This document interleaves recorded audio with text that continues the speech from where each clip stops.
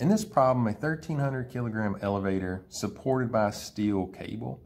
Elevator accelerates upward. What is the tension? So let's start off by drawing ourselves a diagram that this elevator is being lifted due to a tension while the force of gravity is pulling downward against it.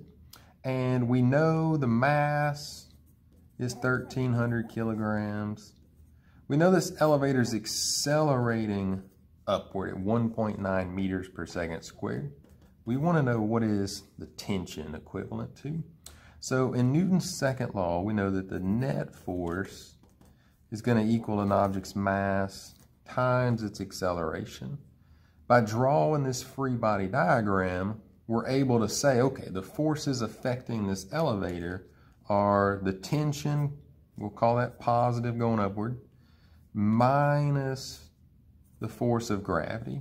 Those two forces impact the elevator's acceleration. So when they are combined, they are the net force. They are equal to mass times acceleration. We want to solve for tension. So now I'm going to add the force of gravity to both sides. And we can factor out that mass that's not necessary, but you can do that. It's just going to give you a little bit less to type in your calculator. That we want to take our mass, 1,300 kilograms, times our acceleration, 1.9 meters per second squared, plus the acceleration due to gravity, 9.8 meters per second squared. And so if I enter that in my calculator, 1.9 plus 9.8 times 1300. That gives me a tension of 15,000. I'm going to round this a little bit.